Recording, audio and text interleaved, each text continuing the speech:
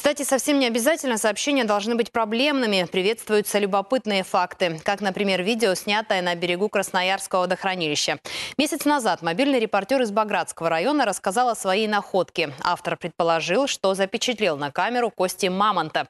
В нашем эфире это увидели сотрудники Республиканского краеведческого музея и заинтересовались. Специалисты выехали на место, с ними отправилась наша съемочная группа. Репортаж Натальи Гармашовой.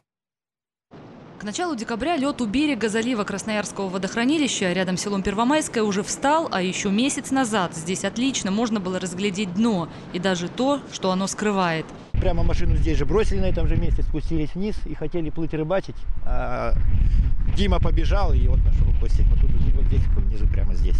Причем не две, не три, а приличное количество костей разных размеров и форм. Что-то лежало под водой, что-то торчало из обрывистого берега. Рыбалку пришлось отложить и заняться археологическими раскопками. Когда отец с сыном собрали вместе все останки, поразились масштабу находки, вспоминает Сергей.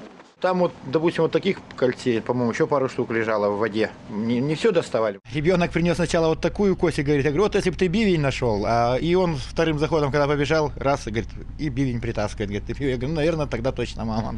Когда привезли домой, думаю, ну что с ними делать? Выкидывать жалко. Думаю, а давай сейчас вот рубрика есть такая, мобильный репортер. Ну и решили отправить. Пять минут делов сняли, отправили. Видео заинтересовало телезрителей, среди которых оказались и сотрудники Хакасского краеведческого музея. Специалисты решили подробнее изучить находку, отправились в Первомайское. О, тут у вас вообще целый склад.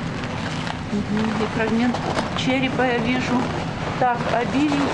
Бивень какой-то странный. Ну, кости это кости мамонта. Я увидела фрагмент бивня. И э, вот он немножко такой загнутый, у нас другой. Мне показалось, что такой же, как у нас уже есть вот с этого места, с Первомайки. Мы посмотрим, э, сравним с тем, что у нас есть. Ну, на первый взгляд, это другой немножко бивень. А что касается черепа, то это просто замечательно, потому что у нас есть вот два фрагмента от двух черепов. Этот же меньшего размера, вероятно, принадлежит детенышу мамонта. Специалисты пожелали не упустить шанс обнаружить что-нибудь еще. Осмотрели берег водохранилища. Тайны древней земли оказались буквально под ногами. Буквально вот здесь это фрагментик, кусочек позвонка должен А, это позвонок даже, да?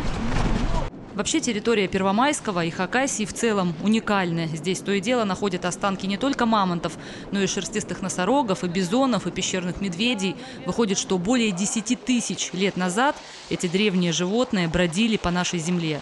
Собранные фрагменты костей, имеющие огромную историческую ценность, сейчас хранятся в фондах Центрального краеведческого музея.